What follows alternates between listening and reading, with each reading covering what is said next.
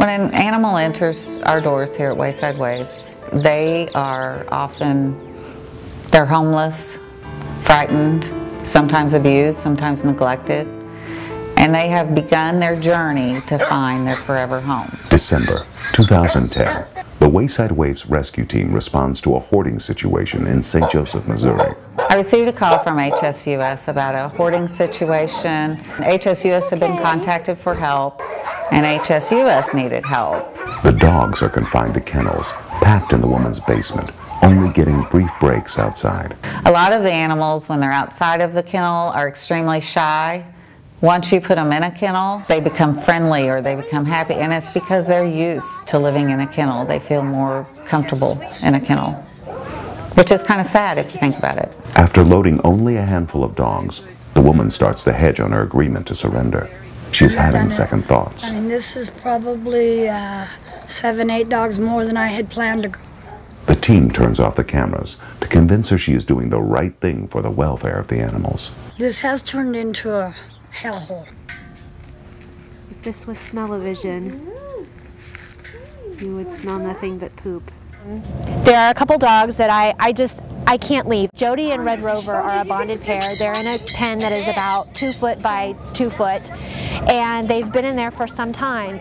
They have these big eyes with these pools of hope. They want to leave, I can tell. And, and what kind of life is that to live? They've been in this pen for I don't know how long. I can't walk out the door, I can't get in the car, I can't drive down the drive, I can't leave them behind. I know that they have a better shot coming with us than staying here. And he's apricot poodle. That's Red Rover. They need homes. They need to be individually left. And I want that for them. We convinced her to let us take Red Rover and Jody, so I'm thrilled. I'm relieved that they're coming with us. The rescue team has managed to load 30 dogs. They will be transported back to Wayside Waifs for medical treatment and to begin their journey to finding a forever home. It's all about giving an animal a second chance at life. March 2011. The Wayside Rescue Team partners with Spay and Neuter Kansas City to respond to a cat hoarding situation in Merwin, Missouri. Oh. Oh. Because I tried not. A woman has passed away, leaving her grieving family members to care for a trailer full of cats. My sister Anita, um, she was a huge, huge cat lover, as you can Yeah. tell by all the cats. Uh, they were her family. This room is completely filled with stuff. I don't see any cats in there. Got her. She's so skinny. Cats run everywhere. They are friendly, but scared and hungry. They are also curious about what is happening. The cats are elusive. One cat in particular, Halibut, challenges the team's skills. Oh, there he goes.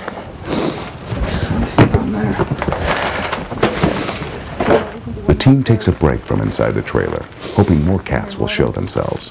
Outside, Wayside Waifs foster coordinator Kristen Sampson makes a gruesome discovery. This is a dead cat. Looks like it might have been shot. Has a couple holes going through it. Who knows how many else are out here? That's sad. Losing one cat weighs heavy on the team, but with each cat rescued, there is hope for their future. Halibut has proven to be no match for the rescue team.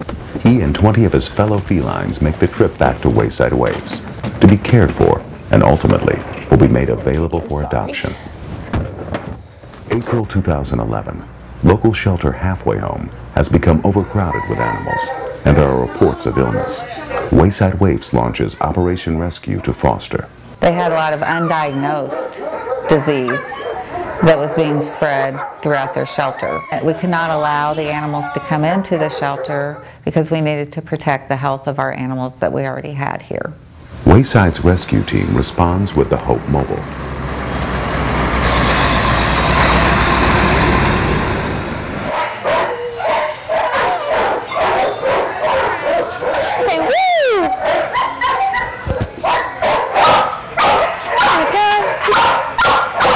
Team is able to rescue nearly 60 animals. Back at Wayside Waifs, the animals receive medical evaluation, vaccinations, treatment, and medicine in a makeshift triage in the parking lot. This third one. make sure he's nice and healthy. Foster families begin picking up the animals to take them home and begin the six-week commitment of caring for the animals until the threat of illness has passed. That's it. Let's go outside. Let's come up potty. These animals simply want a second chance, and without Wayside, they would not have that second chance. It means a lot to us that Wayside can take these animals in. We simply would not be able to. In the past year, Wayside has rescued thousands of animals from over 25 shelters and animal welfare organizations, as well as taken in animals through the owner surrender program. Without Wayside, there would be a lot of animals that don't get their second chance at life. There's a corner of your heart for me. There's a corner of your heart just for me. Live their life in horrid conditions. Uh, they don't even know what a real life is.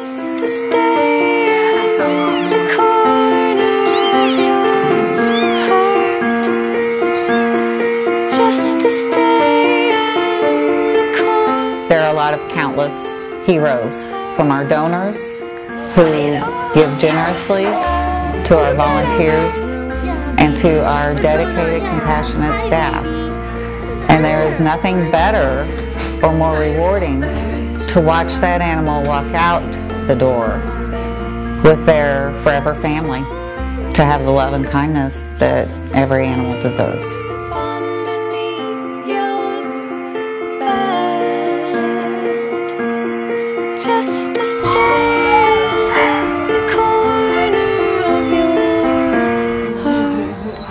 Saving lives.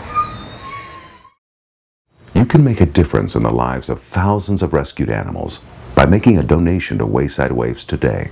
Visit waysidewaifs.org to donate.